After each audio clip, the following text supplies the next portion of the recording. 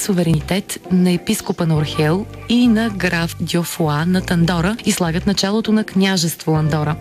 То се задължава да заплаща символичен данък и на двамата си господари. Управлението се сменя на ротационен принцип. Една година данъкът получава епископът на Орхел, а на следващата графът на Фокс. Както подобава на един средновековен данък, той се състои от 28 пити кашкавал, 7 свински бута, 14 петела и сума равна на около 90 долара. Споразумението за статута на Андора, видоизменено, продължава да действа и до днес. Тя и днес плаща този данък, макар и леко реформиран. През 1589 година Енрик, крал на Навара и граф на Фокс, става крал на Франция и правата на Тандора преминават към френската корона. Така града